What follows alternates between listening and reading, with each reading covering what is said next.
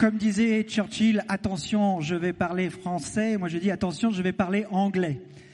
Dear Jeremy Rifkin, uh, let me tell you how pleased we are to have you here today. As I was saying, you're not just uh, a thinker, but also a player. By this, I mean uh, you want to make things change. Uh, you want to help uh, governments, big institutions, uh, to adapt to what you called you call the third industrial revolution. Reading your last book, uh, it's quite obvious that you feel passionate about all the, the, the opportunities uh, shown by the sharing economy. True to your word, tonight you're going to share with us your ideas, your innovative thought, and uh, it's precisely it's uh, precisely what you're going to do tonight. Uh, you're going to speak about the Internet of Objects, the future of food, and the third industrial revolution. Once again, Jeremy Rifkin, thank you so much for being here, and it's my great pleasure to tell you the floor is yours.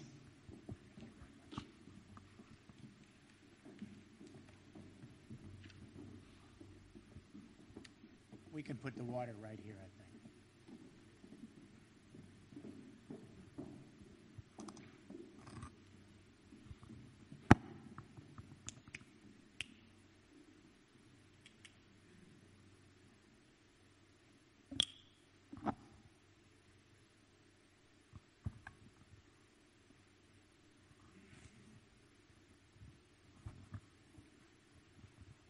Good evening, everybody. It's always a pleasure to be in France, especially this time of the year. Just beautiful. A quick note if you have cameras, you need to go to the back of the room. You can take one photo. I'm used to a classroom, nice and quiet. Cell phones off. Don't put the iPads up. Okay? All right.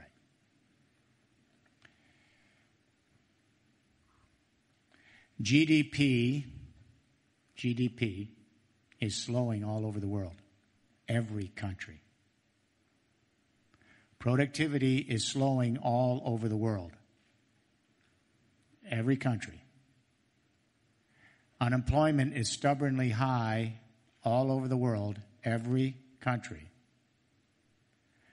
We're beginning to glimpse the long sunset of one of the great economic eras in world history.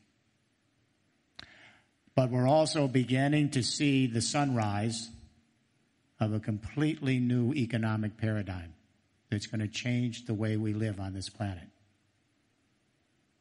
To understand the crisis and the opportunity, we need to understand how the great paradigm shifts occur in economic history. That's going to give us a roadmap for what the food industry and every other industry needs to do to bring us on a new journey. We have to relearn how to live on this earth.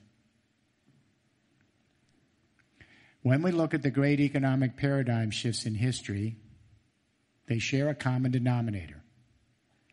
And that is, at a certain period of time, three defining technologies emerge and converge to create what we call in engineering a general purpose technology platform. That's a fancy way of saying a new infrastructure for organizing economic life. What are the three defining technologies? And from here on in, I want you to think of your industry and everything I'm saying, the food industry, from the agricultural fields to the final end user. Here are the three technologies that come together and change economic history.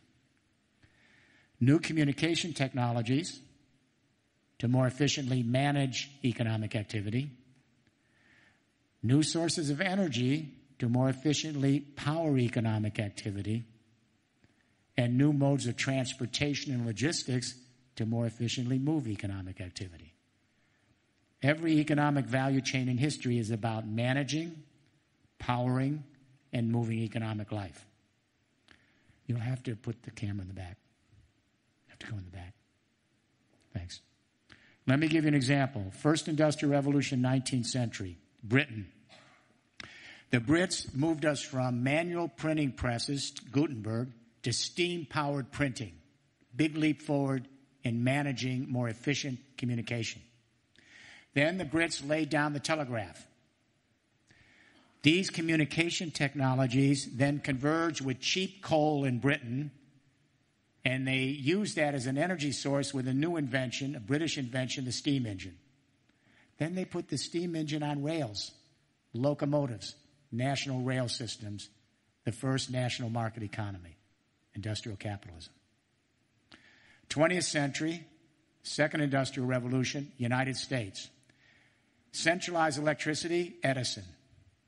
Allowed Alexander Graham Bell to lay out the telephone system. Later, radio and television. These communication technologies converged with cheap Texas oil, powered by a German invention, the internal combustion engine. Then Henry Ford put us all on roads and wheels cars, buses, and trucks, continental road systems. Communication, energy, transport and logistics, a new matrix. The second industrial revolution took us through the 20th century. It peaked in July of 2008 when Brent crude oil hit $147 a barrel on world markets, a record peak in oil price. And when that happened in July of 2008, you'll recall here in your industry, the prices for everything that we were buying in the stores went through the roof because everything is made out of or moved by fossil fuels in the second industrial revolution. Our fertilizers, our pesticides, our fossil fuels. When the price goes up, their price goes up. Our construction materials are made out of fossil fuels. Most of our pharmaceutical products are made out of fossil fuels. Our synthetic fiber, our power, our transport, our heat and lights, all made out of fossil fuels. So when the price of oil starts to move over 100 a barrel, all the other prices go up.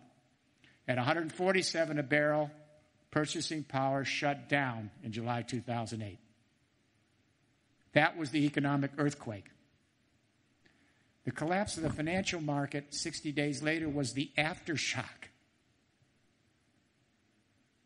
We are now not only in the Great Recession, but we are in the early stages of a very, very long end game for the second industrial revolution based on centralized telecommunication, fossil fuel and nuclear energy, internal combustion and transport on dumb road and rail systems, and this affects every single industry, none more than food processing from the agricultural fields to the final end user. Let me share an anecdote. When Angela Merkel became Chancellor of Germany, 2005, she asked me to come to Berlin in the first few weeks of her new government to help her address the question how do we grow the German economy? When I got to Berlin, the first question I asked the Chancellor, Madam Chancellor, how do you grow the German economy, the EU economy, the global economy, in the last stages of a great industrial revolution where the centralized telecommunications, fossil fuel nuclear power, internal combustion and transport has now matured, optimized its productivity potential. We can't get anything more out of the platform. It doesn't make any difference whether you're in China or Senegal or the United States or France, any country still operating on that platform in the next 20 years cannot move their economy. You can have austerity, you can have labor market reforms and fiscal reforms, fine. But it's the platform, the infrastructure we're plugging into from food to manufacturing to every other industry. There's no more aggregate efficiency left on that platform. That's why productivity is failing. So that day, the first day I met with the chancellor, I laid out this third industrial revolution uh, paradigm shift. At the end of the day, over a glass of wine, she said, Jeremy, I want this for Germany. Three weeks ago, this is from 2005 to 2015, we had a meeting in Germany. We brought 61 governments there to debut the system that we are now put to place in Germany. And I'm going to tell you the next place it's going to happen is France, and they're going to join together, France and Germany. Here is the third industrial revolution. We are seeing the convergence of communication, energy, and transport again. to create a new matrix, a new platform for economic life. The communication revolution, the internet we all use, our smartphones, our mobiles, our laptops, the communication internet is morphing and beginning to converge with a digitalized renewable energy internet in Germany and a digitalized, automated, GPS guided, and within 10 years, driverless transport and logistics internet to create three internets communication internet, renewable energy internet, transport logistics internet.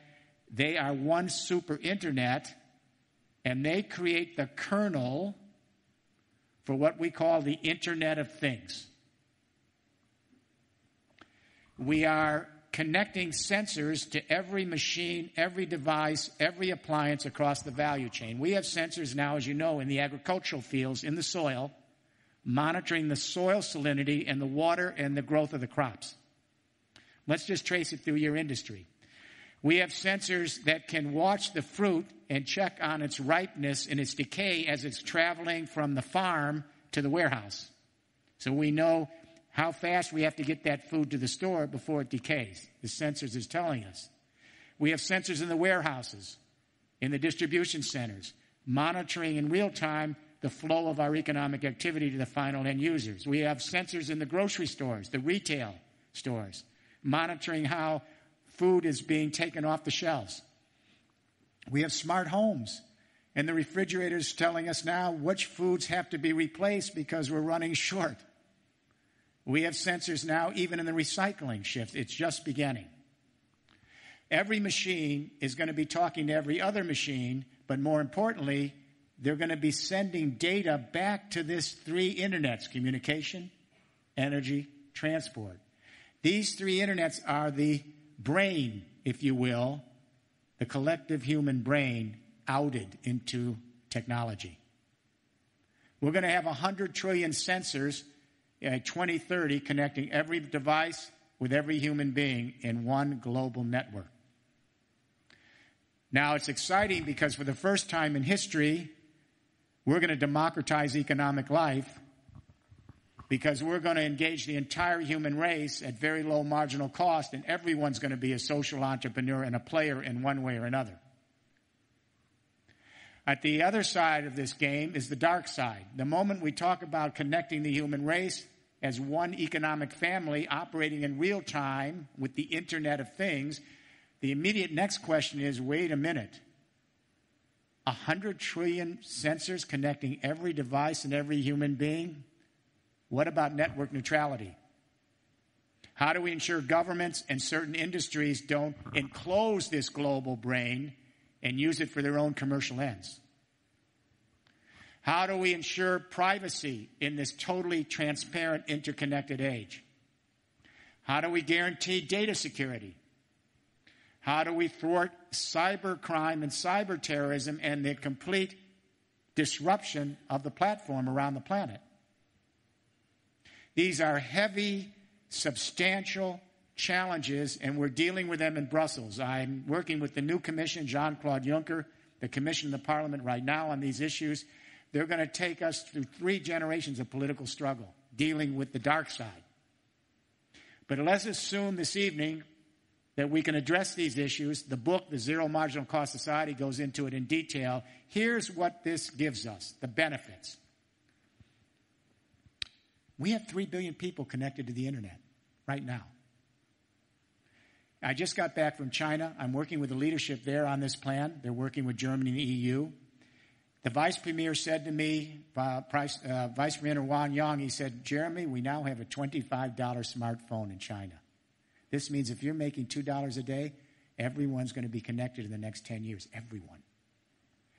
So we can go up on this emerging Internet of Things, communication, energy, and transport, everyone in this room, because it's all started, and just the cost of a service provider, very cheap, we're all going to have a transparent picture of everything going on in the economy.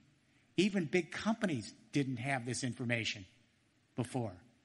This levels the playing field, democratizes economic life because everyone's going to know everything. So here's what this means. If you're in the food processing industry, if you're a family, if you're a small or medium sized enterprise, if you're in any industry, we all have a value chain in this room because we are, among other things, we are economic beings. So if you're a small business, a family, a food processor, a manufacturer, every day, each of us are constantly marshaling economic activity. We're moving it along our value chain. We're producing goods and services with that economic activity. We're consuming economic activity. We're recycling economic activity. That's our value chain. We all have it every day. Here's what this means. Every one of us in this room can begin now to go up on this Internet of Things platform for a third industrial revolution and cut our swath of the value chain out and watch our data that we care about. So if you're a farmer, if you're a small and medium sized food processor, if you're a wholesaler distributor, you can simply cut your data that you're interested in in your value chain. And then you can use your own analytics,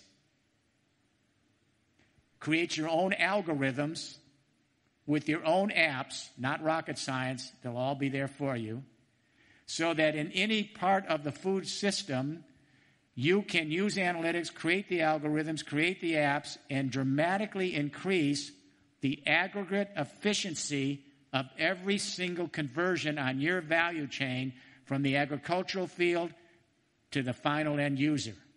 And by increasing your aggregate efficiencies at every step of your value chain, dramatically increase productivity. 86% of productivity is what we call aggregate efficiency which is the ratio of potential to useful work at every step of conversion. How much actually got into the product? Only 14% of productivity is better machines than workers.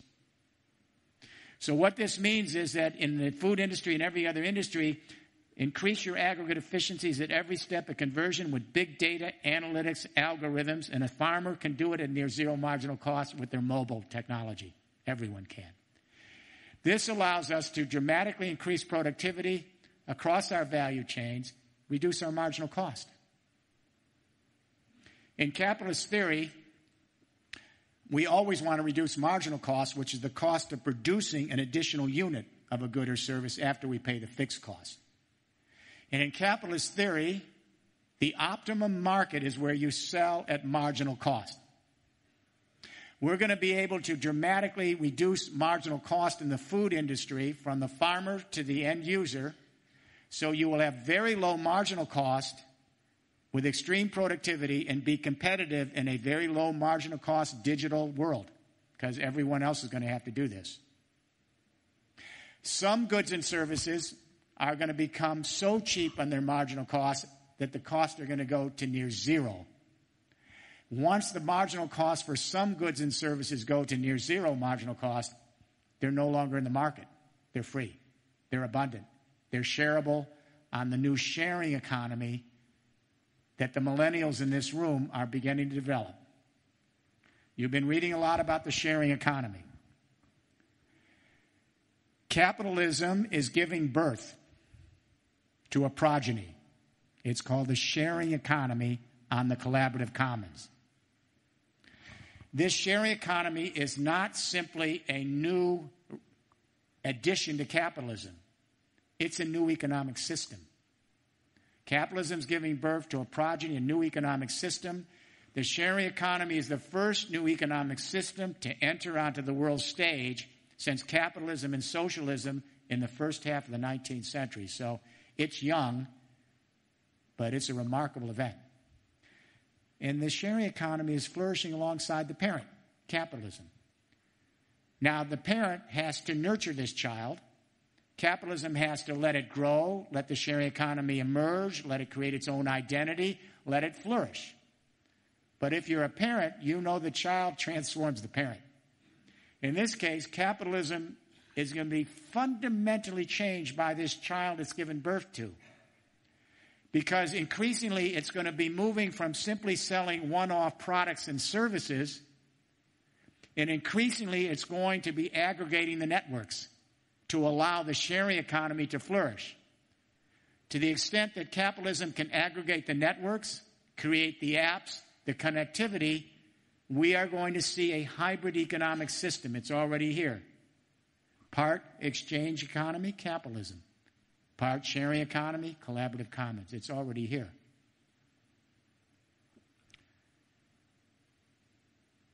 Capitalism will still be here by mid century. It will flourish alongside with its grown up child, the sharing economy, now an adult.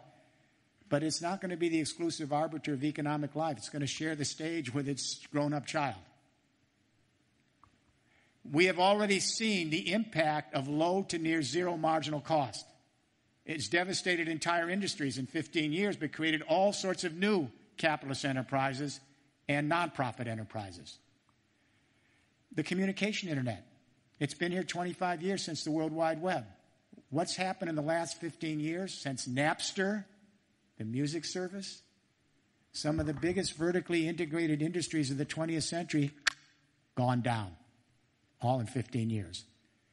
We now have a new category. We used to say there are sellers and buyers, there are owners and workers. They're still here, they're not going away. But now we have a new category prosumers. And that is hundreds of millions. In fact, 3 billion people on the internet have at any given time been a prosumer, every single one of you. That is, you are producing and sh- consuming and or sharing goods and services with each other at near zero marginal cost. Right now, as I speak, there are millions of people around the world right now producing and sharing their own music. And whether they send that music to one person or a billion people, the cost is still near zero. They just need a service provider. We have millions of young people right now today who are producing and sharing their own YouTube videos, open source, cultural commons license, no intellectual property. And whether you share your video with one person or a billion people, it's near zero marginal cost. Producing and sharing news blogs, social media, contributing to Wikipedia. And now six million students are taking massive open online college courses taught by the best professors, the best universities. They're getting college credits near zero marginal cost. You send that course to one student or a billion, it's still near zero. Some of the biggest vertically integrated enterprises of the 20th century have plunged. The music industry has gone down. Television has shrunk. The kids are all sharing their own videos with each other. Newspapers and magazines have gone out of business, and my new book was on Pirate Bay before it was published, and they even had it ranked before Amazon. But whole new industries have emerged. Even though these industries have gone down, we have thousands and thousands of for profit and not for profit enterprises flourishing on the Internet of Things sharing economy. Not just Facebook, Google, and Twitter. There's thousands of app companies and aggregating commons companies that are all over the internet. So, what we've begun to see is the democratization of entertainment, news, and knowledge. It used to be centralized in the hands of vertically integrated companies. Now, young people are democratizing culture, education, and knowledge. But we thought there would be a firewall here and the zero marginal cost phenomena, while it affects the virtual world of bits, entertainment, news, and knowledge, it wouldn't cross the firewall to the physical world of atoms, the brick and mortar world. What I'm saying in this new book, the firewall is breached. It's called the Internet of Things, Third Industrial Revolution. When the communication internet converges with a renewable energy internet in an automated driverless transport and logistics internet, we break through the wall. We're heading to near zero marginal cost renewable energy produced by everyone on the planet within 25 years. We are heading to very low marginal cost transport and logistics on a GPS guided, car sharing, driverless transport system within less than 20 years. Let's look at energy. Germany. I mentioned it on March 26. We debuted our plan in Germany, which is now being implemented, and we had 61 governments there. Here's what we said Germany now is moving on the energy internet. We're 26% green electricity right now in Germany, solar and wind. We'll be 35% solar and wind before 2020. We're going to be 100% renewable energy, solar, wind, geothermal, hydro, and biomass by 2040. That's 25 years from now. The fixed cost of these renewable energies on the emerging energy internet are on an exponential curve, just like computing. You know, when I was a kid, I'm the oldest person in this room. I'm a World War II baby. Computers cost millions of dollars. There were only a few of them. Today we have a smartphone for $25 because of Moore's Law. We saw that Intel chip, we doubled the capacity, half the cost with computing every two years. It's an exponential curve. We're seeing the same thing with solar and wind. 20 years, exponential curve. A solar watt of electricity cost $78 to produce one watt in 1977. $78 one watt. Today it's 36 cents one watt. You see what's happening? It's going to zero. Within the next 20 years, the harvesting technologies, they're going to be putting solar in paint. We're already doing it in paint, in glass, in facades. Your bioconverters, your geothermal heat pumps, the solar, it's going to be as cheap as your little smartphones within 20 years. The curves are not going away. And what's interesting, while the power companies say, oh, this is way off in the future, privately in Europe and America, the electricity companies are buying long term contracts for solar and wind for 20 year contracts at four cents a kilowatt hour. They're abandoning coal and gas. They're just not talking about it publicly in nuclear because they see the curves. They're willing to do 20 year contracts at four cents a kilowatt hour. But once we pay the fixed cost of that solar and wind technology, the marginal cost of energy in Germany right now for 27% of the energy, near zero. The sun is not sending a bill over Germany. The wind isn't sending a bill over Germany. The geothermal heat's not sending a bill in Germany. Once you pay for the fixed cost, just keep the technology clean. How does any country compete with near zero? Once you pay for the maintenance and the fixed cost. Who's producing all this new energy? We have four major power companies in Germany Vattenfall, EnBW, RWE, and E.ON. We thought they were invincible, vertically integrated enterprises. What happened to them in the last seven years is what happened to the music industry, newspapers, magazines, book publishing, television. Millions of German people, farmers, especially farmers, and I'll get to this later, farmers, consumers, small and medium sized enterprise, they came together and created electricity cooperatives. Farmers were the big ones. And what they did is they all got low interest loans from the banks. Eh, no government. The banks were happy to give the loans because they knew they'd be paying back by the premium they get for the energy they're producing and by the savings. Everyone got the loans.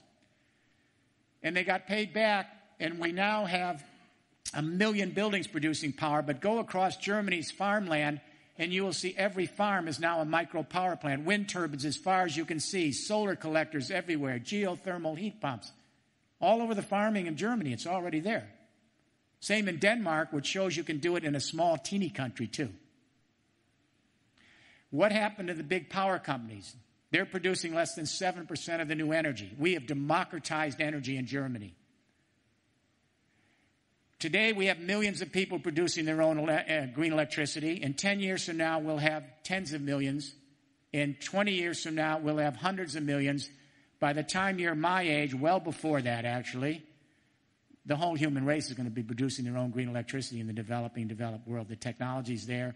Everyone has it. Everyone has the sun and the wind and the heat and the biomass for bioconversion and the hydro. This is going to happen because the curves are there. They're not going away. Does this mean the power companies go out of business? Now, I want the food industry to hear this because I'm showing models from other industries. Does this mean the power companies go out of business? No, they change their business model. They're not leaving the second industrial revolution tomorrow morning, the transmission companies, but they have to also be in this third industrial revolution so they can ease the transition over 20 years. So we introduced a new model. We said increasingly the people are going to produce the energy, just like we're democratizing entertainment, news, education, culture. And through our electricity cooperatives, starting with the farmers, they're the first in on this, and the consumers, we'll send the electricity back to the grid.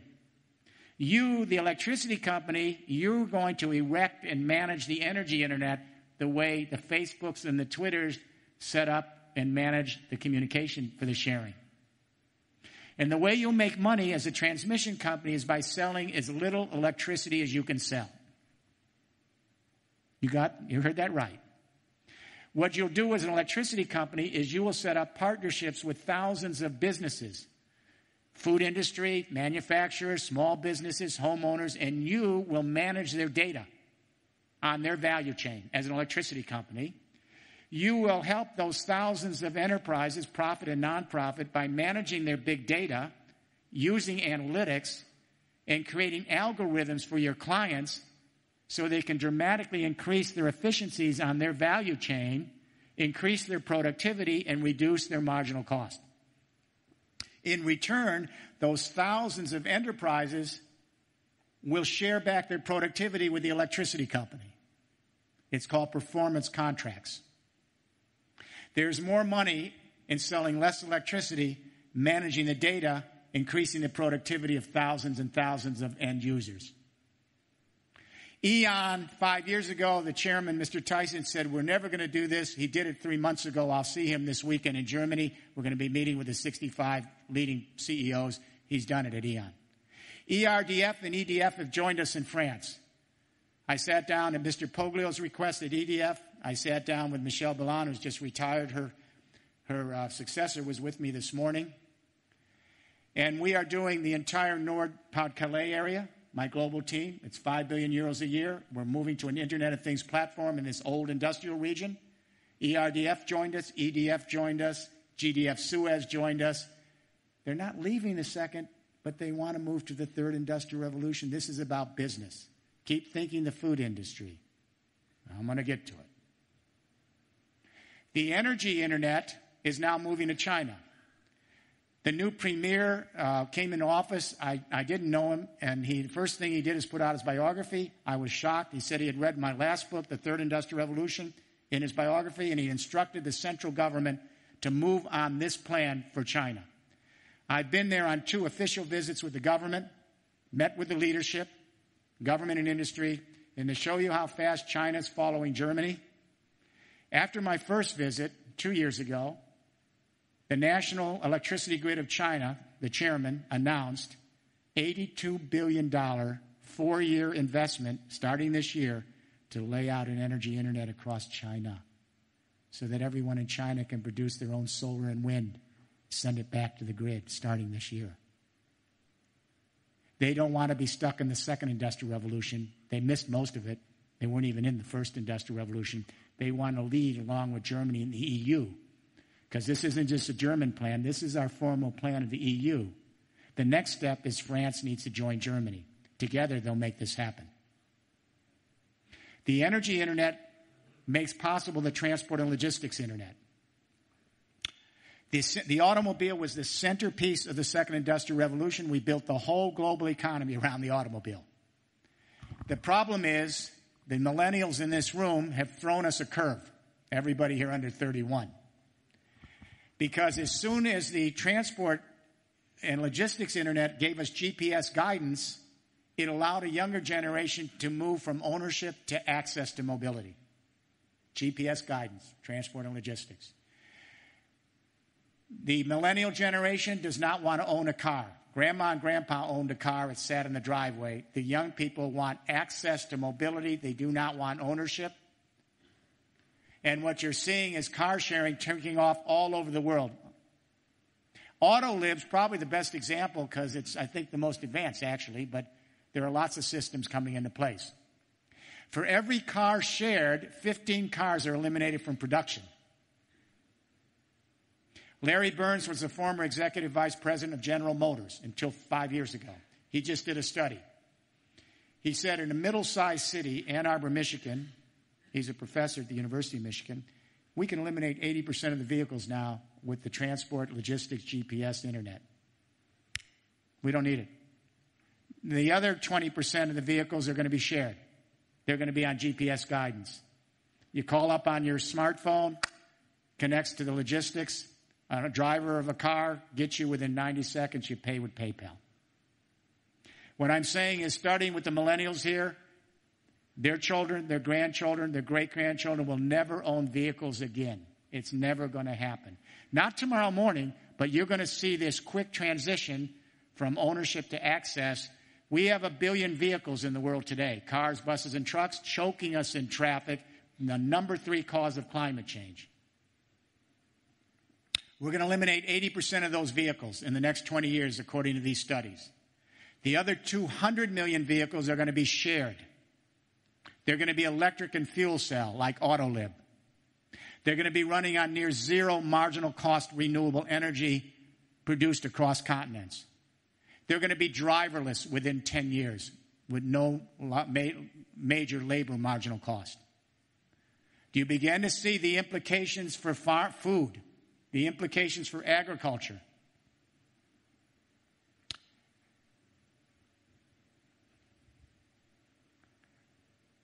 How do we pay for this? And then we're going to talk about the food industry. The money is there. In Brussels, the question came up uh, when I was meeting with the leadership the last several months how do we pay for this? The money is there. In 2012, at the European Union, in the European Union, we spent $741 billion on infrastructure in 2012. Bad year, during a recession. Public and private monies. France, you spend money every year on infrastructure. Good years, bad years, every country does. The problem's not the money, it's where it's going. What we're doing is we're taking and building new old, new old. We're investing all that money in the second industrial revolution infrastructure of centralized telecommunication and with dumb servo-mechanical electricity grids, mature fossil fuel and nuclear power, and very, very unproductive transport that's internal combustion on dumb road and rail. We've optimized the productivity of that platform. We cannot move any country on that platform anymore. If we simply reprioritize in every country our investment in infrastructure, for example, here in France, and spend maybe 25% of what we're going to spend anyway on the new infrastructure, the Internet of Things for a digital generation, the third industrial revolution, we're there in 25 years. Every industry will be engaged in this transition. If you, even the energy industry, GDF Suez is probably the most enlightened of the energy companies. Many of them are doing nothing. GDF Suez is there. But if you are a telecom company, a cable company, ICT company, electronics company, electricity transmission company, transport and logistics company, construction industry, life sciences, manufacturing, and especially the food industry, which I'll explain, you're going to be in this transition tomorrow morning. Because if you're not, you're going to be in a dying 20th century second industrial revolution within 10 years from now. I guarantee you. That's why Germany's moving forward quickly, China's moving forward quickly. California's moving quickly. The rest of the country, unfortunately, in my country, still thinks shale gas is the future and tar sands, and we're going to lose a generation. And I'm here to tell you, younger folks, you may see the United States as a second tier nation if we don't get this quickly within 30 years. That's how fast this is moving. The industry engagement brings two generations back to work. I wrote a book in 1995 called The End of Work. You saw it here in France. I said, We're moving to automation. We're automating factory work. We did it. Now we're automating white collar and service work. We're doing it. Now we're automating conceptual and knowledge workers. We don't need them. But in the short run, we have two generations left of one last surge of massive employment, only 40 years. We have to build out this infrastructure. It's going to require millions and millions of unskilled, skilled, and professional workers to build out the smart infrastructure. For example, in France, we have to move this country from fossil fuel and nuclear to renewable energy, distributed across the country. That means every single building in France has to be retrofitted. Every home, every office, every factory has to be insulated and made secure because if it leaks, you can't put the solar and wind on because all the energy is leaking. That keeps the construction industry busy for 40 years. In Nord-Pas-de-Calais, we are going to convert a million buildings in the next 20 years. That's just one region. So it's a huge operation to put in those renewables. Germany converts over a million buildings already, and they're producing power. Then in France, we have to take the entire electricity transmission grid of France and move it from dumb to smart and from servo mechanical to digitalized. Who's going to put in all the underground cable? Who's going to put the advanced meters in every building? That's real workers. Robots aren't going to do that. We have to take the transport grid of France and move it from dumb to smart roads and from internal combustion to electric and fuel cell. We have to put in millions of charging stations. Every parking space has to have a charging station. So you can plug your car in, get electricity, or sell yours back. So we have the opportunity over 40 years to build this out, engage every industry in France, bring people back to work. But be clear that this automated capitalist market I'm talking about, once it's in, it's smart, it runs by analytics, big data, algorithms, and very small workforces. So where will the work go? Some people say, well, we'll just pay everyone not to work. Human beings are not going to do that. We are already seeing where the work will migrate. It's migrating already to the social economy, the sharing economy, because that's where we create social capital, environment, healthcare, senior citizens, assisted living, daycare, uh, cultural.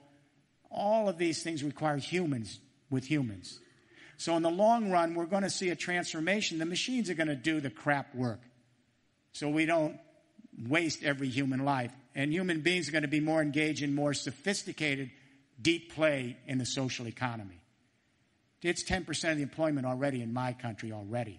It's 15% of the employment in some parts of Europe, including France. I think you're around 13% employment in the nonprofit sector. So this is what's before us. But now let me go to the food industry.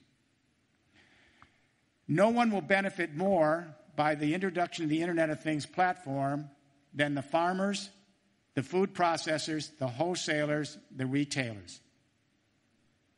Let me say agriculture is right up there among the most inefficient of our industrial sectors in terms of the value chain. Huge amounts of inefficiency.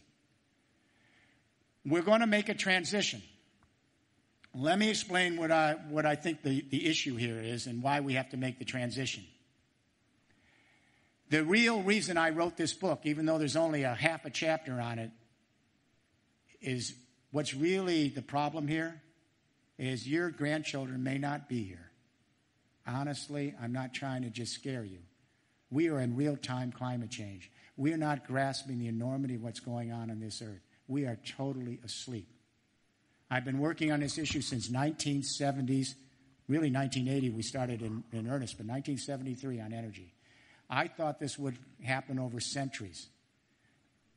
We never anticipated how fast this climate change would hit us because we couldn't model the feedback loops, and each feedback loop is, is giving us 10 more. And nowhere is the impact greater than in agriculture. What people have not yet grasped is climate change. People say, wow, it snowed today. There must not be getting warm. Look at the snow on the ground. It's huge. What we have never explained is that climate change changes the water cycles of the earth. And the big impact is agriculture. And if we can't feed the human race, we're dead. This is the watery planet. Our ecosystems are developed over millions of years based on the cloud coverings and the water exchanges across the earth. For every one degree that the temperature goes up from industrial climate change, the atmosphere is sucking up 7% more precipitation from the ground. The heat is forcing that precipitation from the ground to the atmosphere. We are getting more concentrated precipitation in the clouds. This is leading to more violent water events, more violent winter snows, more dramatic spring flooding across Central and Eastern Europe, more summer droughts. California's out of water, Pakistan's out of water, Sao Paulo's out of water. Have you been reading the papers every week? There's no more water droughts, floods, then droughts. We're getting category three, four, and five hurricanes devastating low lying countries. Our ecosystems cannot catch up with this runaway water cycle. And so they're being stressed to exhaustion. Our scientists tell us we're in the sixth extinction event. We had five extinction events of life on this planet 450 million years before human beings were here. And every time there was a turning point in the chemistry and a quick die out. And every time, 10 million years to get life back on Earth in the fossil record. We are now in the sixth extinction event. Our scientists tell us we may lose 70% of all forms of life by the end of this century. There are babies that will be alive in my age then. As my wife says, we're not grasping the enormity of this moment. 99.5% of all the species of life that have ever been on this little oasis called the Earth, 99.5% of all forms of life have come and gone. Here's our species. We're the youngest. We've been here 175,000 years, anatomically modern humans, and we think that there is no consequence to our actions. Agriculture is first hit. You've been watching California. We don't have any more water. This is happening all over the world, and we're getting the floods and the droughts. The interesting thing, nobody wants to talk about this, but I'm going to be blunt. Agriculture is one third of all global warming. Nobody talks about it. We talk about buildings, we talk about transport. Agriculture is responsible for more global warming than transport in this planet, and nobody wants to talk about it, even Al Gore. So the irony is a lot of the global warming emissions is coming from our food and agricultural industries, and it's going to be the first victim of climate change. And if we can't feed the people, how the hell are we going to repopulate populations in the next 10, 20 years? Not 50. So, what's happening here with agriculture? First of all, we had mechanical agriculture of the first industrial revolution, the tractors. We then introduced chemical agriculture after World War II. That's all fossil fuels. So the chemical industry puts out the fertilizers and pesticides. They're made out of fossil fuels. So when the fertilizers are being made in the factories, they emit CO2. When you lay the chemical fertilizers down on the ground all over the world, they emit massive amounts of nitrous oxide. Nitrous oxide is 295 times more powerful than CO2. It's all over the world, chemical agriculture and the pesticides. Then we have a second problem. We have moved our agriculture from food to feed. 40% of the agricultural land in the world is now growing feed grain for beef cattle and other animals. Within 20 years, the projection is that 60% of the remaining agricultural land, which is now suffering from floods and droughts, is going to be feed grain. 40% left for the poor of the planet. So the wealthy can eat high up on the food chain. We, desi- we die of diseases of affluence, heart attacks, strokes, type 2 diabetes. The poor die from diseases of poverty because they can't get access to the remaining land. It's too expensive for their food. And then the second problem is the shift from food to feed grain has allowed us to dramatically increase beef production. There's 1.3 billion cows on the planet. They take up 23% of the entire land mass of the earth. They emit massive methane. Methane is 23 times more potent than CO2 in the belching and in the manure. So we need to have a discussion about moving down the food chain. Remember, I said agriculture is inefficient? The amount of grain you need for one pound of beef compared to the alternative, and that is using the protein, you get 10 times more protein at a fraction of the price in the legumes and vegetables. This is much more inefficient than transport buildings. It's hard to hear this in France, I know. It's hard to hear this in a lot of countries. That's why Al Gore won't talk about it, but I'm going to tell you about it. We need to rethink our agricultural processes, and here's what I suggest we begin to do.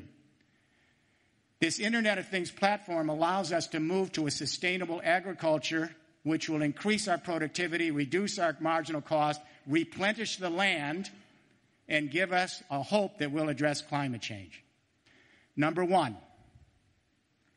We've got to move out of chemical farming to organic ecological farming. Now, two weeks ago in Brussels, we had the life science industry there, and I said, look, we are subsidizing the farming and agricultural industry across the EU. Keep the subsidies, but change the priorities. Farmers would love to move to our organic food because they get premium for that price and they know it's good for the land. But it takes seven years to keep the land fallow to detox it. In other words, you can't certify organic in my country for seven years, so you can't use the land. We need to incentivize the food industry and the farmers and subsidize them so they can leave parts of their land fallow for seven years while they still produce in others and give them the incentive by subsidizing them to move off of chemical agriculture. Because the cost of the fertilizers and the pesticides, that's all fossil fuels. Those prices are going up. Go to ecological based sustainable agriculture and the price of production goes down, the marginal and fixed cost. And you replenish the land. And you give the final end user products they'll want. But you've got to make it worthwhile for the farmers and the food industry. I'm for that. Incentivize the transition. Number two, every farm in France should be able to go on grid and go off grid and be self sufficient in energy because the biggest cost outside of your fertilizers, your pesticides, it's your machinery. The machinery you have to use day in and day out on that farmland, your tractors, etc., is using a lot of fossil fuel energy. We're going to move to electric and fuel cell equipment on the farm. Every farm should have wind turbines and solar panels and thin film and geothermal heat pumps and bioconverters for methane for their cattle so that they can produce their own energy at near zero marginal cost. They can send some of it back to the grid and get premium. Every farm should be a power plant selling energy back to the grid after it uses energy it needs for the farm. Reduce your fixed and marginal cost. So we not only have to move from chemical to organic agriculture, which reduces the cost, we move to every farm being self sufficient being able to produce its own energy on site, near zero marginal cost. Number three, if you hook up to the Internet of Things platform, it means you can send your products to the warehouses and the wholesalers in electric and fuel cell vehicles powered by your own renewable energy to the processing. Electric and fuel cell vehicles, near zero marginal cost energy. Then the products can be shipped to the wholesalers and retailers in biodegradable plastic materials. And then with the end users, you're going to give them a product that's good for the land, good for their health, and good for their children's generation. This can be done tomorrow morning. We simply have to reprioritize the subsidies in Europe and put them all toward this transition over 20 years. If we don't do this, tell me how we're going to be able to provide food when we're seeing what's going on all over the world. I don't know if we're too late. But I do know this is the only plan, this Internet of Things platform, a third industrial revolution, that can get us there in time, and here's why. Near zero marginal cost is the ultimate metric for reducing our carbon footprint. In other words, if, if the farm, if the food industry and every other industry can use analytics and big data to create algorithms to dramatically increase their efficiencies and productivity at every step of their value chain, it means we're using less of the Earth's resources because we're using them more efficiently. So we don't need as much. Then, if what we do produce at low marginal cost for the capitalist market or near zero marginal cost for the sharing economy, if that's shared, we share the homes, share the car, share the homes with Airbnb, share the cars with car sharing, share the clothes, the tools, the toys. More of us using less. We're in a circular economy. We're sharing. This can happen tomorrow morning. I've just been hearing about the sharing economy in food production.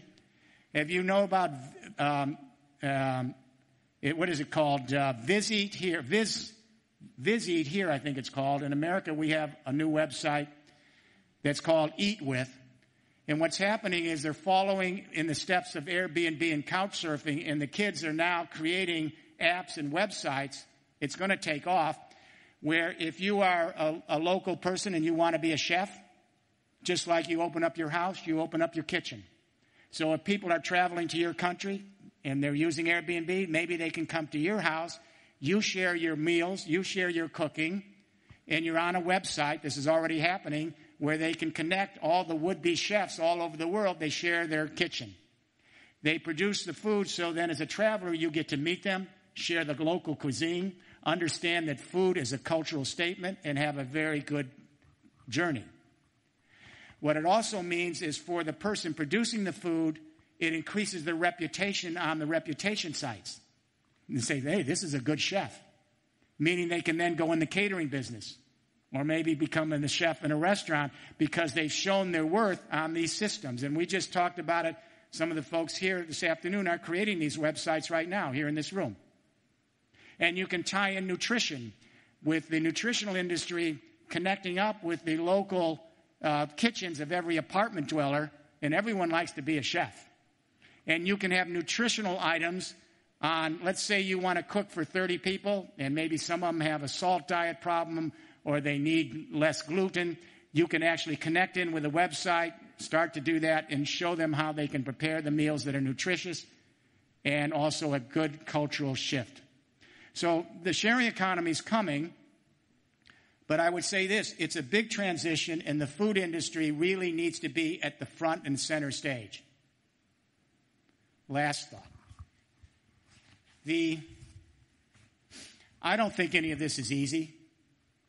I'm not a wild-eyed optimist. I've always been guardedly hopeful, but I'm not naive. Anything can derail what I'm talking about. You have to have some luck in history. Sometimes a generation doesn't make it and doesn't come to the floor in time. Sometimes catastrophic events slow us up. Sometimes we just are lazy and we let it happen like the frog boiling in the pot of water. There are many civilizations, they just didn't have the stamina to move forward and save themselves. But now it's not about civilizations. It's about the biosphere of the earth. And I need to convince every parent and grandparent here this is what we're talking about, and the millennials in this room. So here's France, and if you think about it, there are two countries that are recognized for cuisine and food in the world France and Italy. If you want to take the two countries, these are the countries, when people think about cuisine and food and the good life, they think about France, they think about Italy. There's no doubt about it. These two countries should be at the front of this transition to an Internet of Things third industrial revolution and clean up agriculture, create the new opportunities for a sharing economy, create low marginal cost so that you can have a very vibrant capitalist market for your food products here and abroad. So the legacy that this generation in the food industry will leave is perhaps your grandchildren will say to you, Thank you, because you turned it around and we were able to save this earth.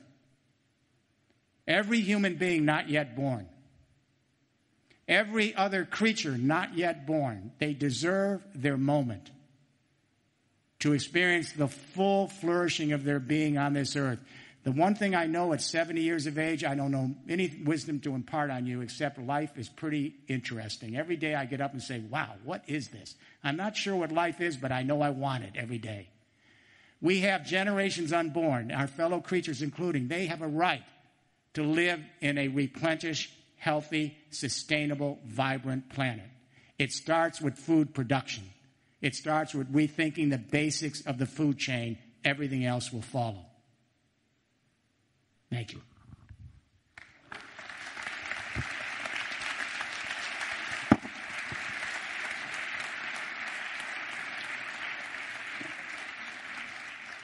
Jeremy Rifkin, euh, bravo, merci pour euh, cet exposé euh, éblouissant. Donc on va vous donner un, un casque et donc euh, voilà, nous avons à peu près 10-15 minutes pour euh, prendre des questions. Je suis sûr que tout ce que vous avez pu dire aujourd'hui, en particulier euh, la nécessité de repenser le processus agricole, je suis sûr que dans cette salle, euh, sera suscité des réactions. Donc, si vous voulez bien vous manifester en levant le, doigt et on vous fournira un micro pour que vous puissiez poser votre question à Jeremy Rifkin. Madame, donc si on peut procurer un micro.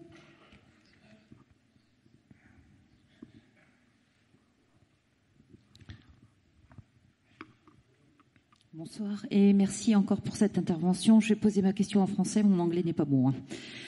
Euh, J'ai beaucoup de questions. J'ai beaucoup de questions en, tête, mais particulièrement, je voulais avoir votre point de vue. On, assiste aussi à l'émergence de l'économie circulaire. Comment est-ce que vous l'intégrez par rapport à votre nouveau mo- modèle économique? Euh, Comment tout ça peut, peut grandir ensemble? Well, I mentioned the circular economy in the talk. The Internet of Things platform allows us at every stage of the value chain to aggregate our efficiencies and reduce our marginal costs so that we can use less of the Earth's resources more efficiently. That's part of the circular economy. Then, what we do produce in the capitalist market or in the sharing economy, it can all be re- redistributed. We're doing this with our apartments now and our homes and our vehicles. We're starting to do this. Parents are now on websites sharing toys with their children. They're sharing tools and sporting equipment and clothes. And Nielsen just did a global survey of all the countries in the world, and this sharing economy is not going away. The younger you are, the more you share. That's the circular economy. Use less of the Earth's resources and share them over and over and over and over. Nothing goes to the landfill reduce our ecological footprint. So the Internet of Things platform increases the efficiency so we use less of the Earth's resources. Then what, we do use at low to zero marginal cost is shared. Then if what we do is produce renewable energy at near zero marginal cost, that's ubiquitous. The sun is going to keep shining. The wind's going to keep blowing. So, and then if we move to transport, where we share the transport, we eliminate 80% of all the materials that go into transport. And if the vehicles we use are electric and fuel cell, we're off fossil fuels. This is all part of the sharing circular economy. J'ai une question ici sur ma gauche pour aller plus vite. Je vous cède le micro. Yes, uh, you didn't talk a lot about the finance industry. Uh, what do you think of the future of finance industry in uh, this scenario? And what do you think about the actual policies that are uh, followed by the central banks of the world? The, I think that the human race writ large lost faith in the banking system in 2008. And I have to say to you, I teach in the oldest business school in the world, the Wharton School, and I've taught generations of business leaders. Shameful. What we had here is literally corruption at the highest level in the financial industry around the world. They knew what they were doing. We were taken for a ride. And what I have to say to you is, and then we bailed them all out. Outrageous. We said they were too big to fail. The homeowners were too small to bring them back, but the banks were too big to fail. So I think there was a massive loss of trust in our banking and financial institutions. They're going to have to regain our trust. A younger generation said, you know what? We'll bypass them with crowdfunding. It seemed like something that would never work. It's just taken off. So now we're democratizing finance just like we democratized energy with renewables, democratized entertainment, news and knowledge. Crowdfunding's taken off. So if you have a project, you can go up on a crowdfunding site. You say, I need $500,000 within two weeks. And all over the world, people say, I'll give you five bucks. I'll give you 20 euros. Crowdfunding's taken off. It's still small compared to the banking industry, but it is growing at an exponential curve. We're going to need the banks. We're going to need the financial institutions. And what I say to them is this is their opportunity. I'll be with Deutsche Bank this weekend. This is their opportunity not only to regain the trust, but to actually, should I say, bring the financial industry back to health.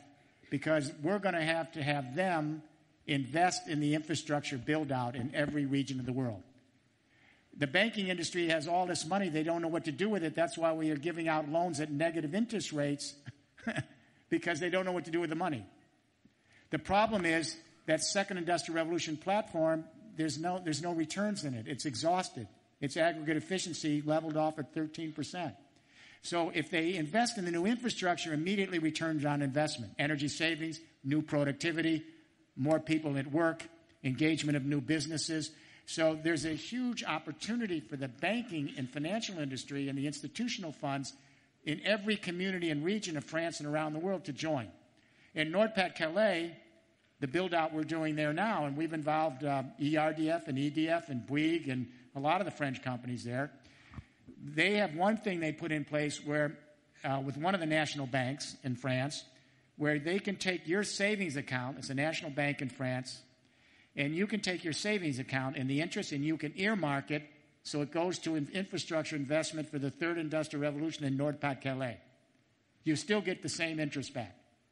People are signing up all over the place. But every region should be able to do that. Burgundy and every other region. So I think that the banking industry, I'm seeing lots of good intentions by a younger generation of bankers. They want to make good and regain the social trust, but also they see the business opportunity here is enormous. Une question dans le fond de la salle.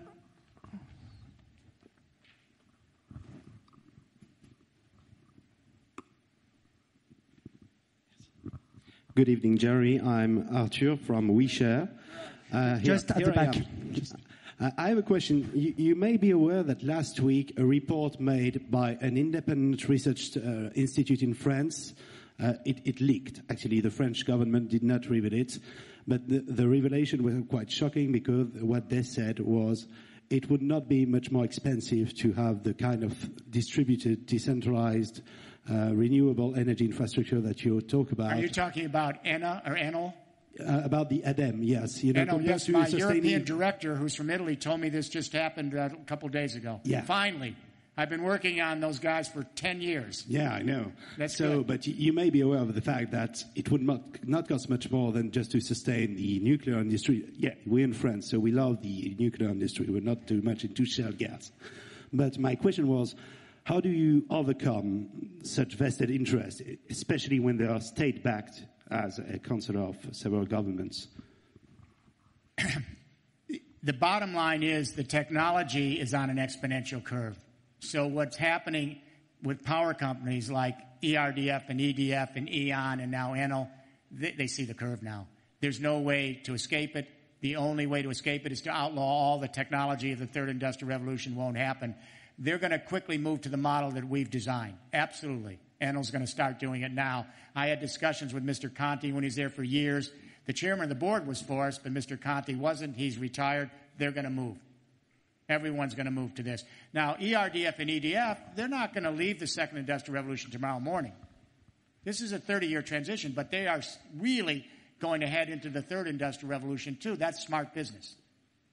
And the bottom line is you can't compete with near zero marginal cost energy that's ubiquitous.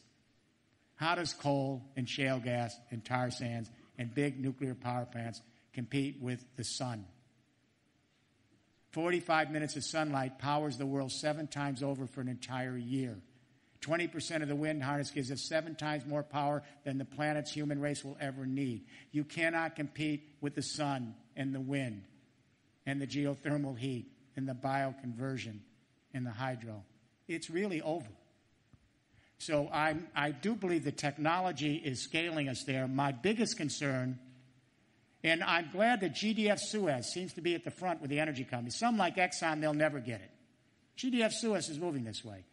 But what's going to happen here is the other industries are now seeing the possibilities. I was with MEDEF yesterday in Paris at their annual meeting. We had the presidents of all the major associations in the room, of all of France. And what I said is, why would you not be there side by side with Germany? France, like Germany, has the world class industries to make this happen.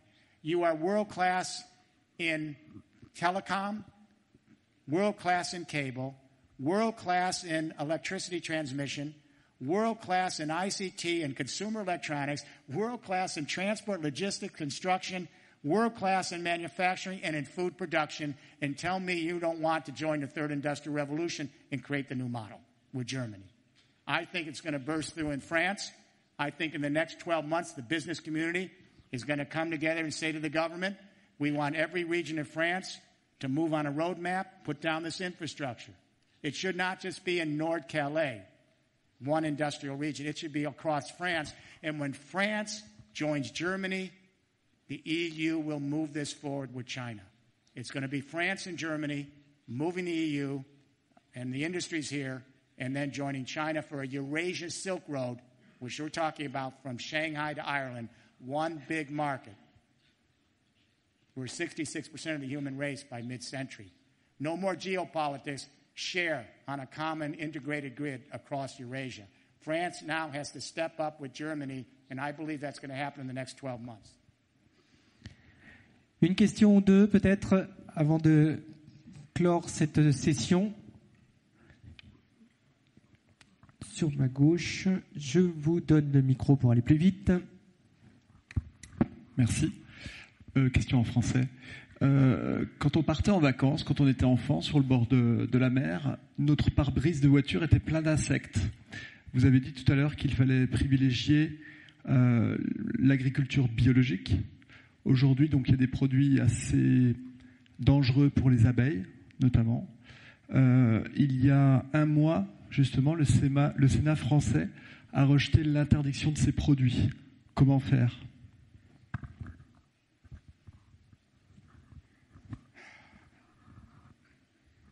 My wife and I have a farm in Virginia. It's just for haying. It's a wildlife refuge, but it's a farm, and we hay. We're, everybody's frightened about what's happened to the bees. Really frightened. Uh, the food industry's got to step forward.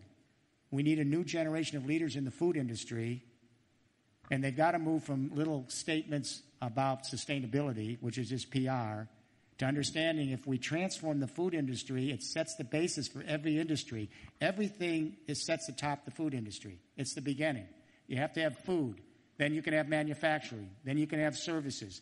Then you can have the Internet of Things platform.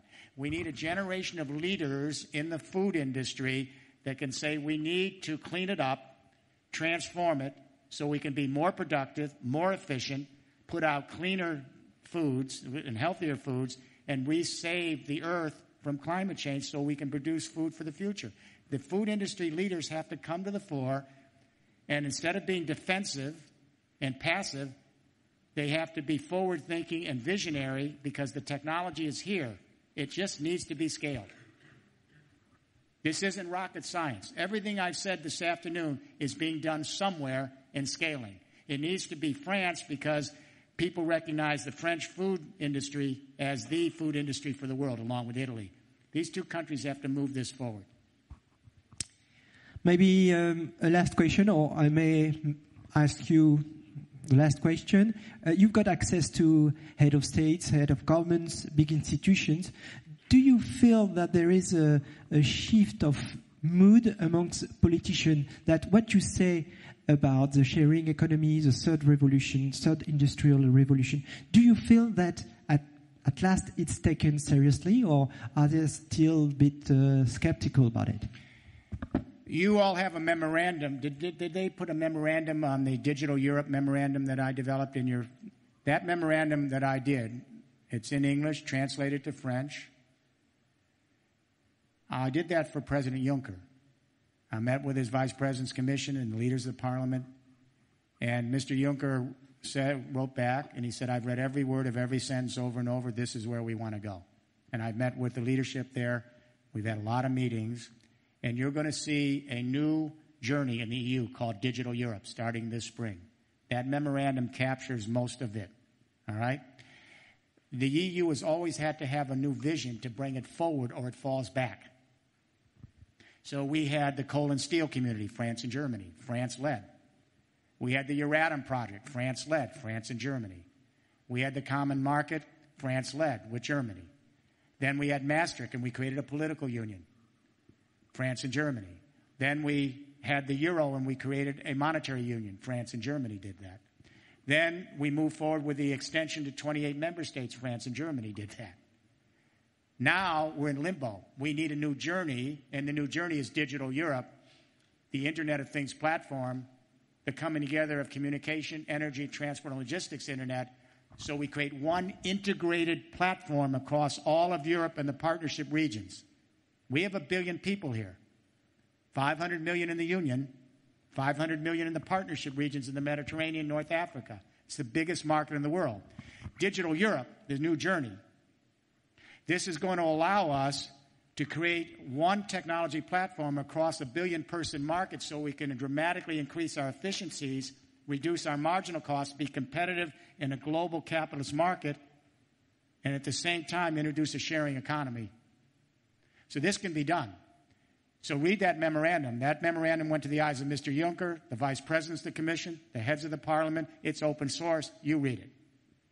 And then if you think it makes sense, pass it on across the food industry. Let's make the food industry right up front be the leaders of this revolution here in France tomorrow morning. Tomorrow morning. Good night, everybody. Merci beaucoup. Thank you so much, Jeremy Rifkin. Et je vous rappelle donc qu'il y a une petite séquence de signature de livres, de dédicaces sur la scène.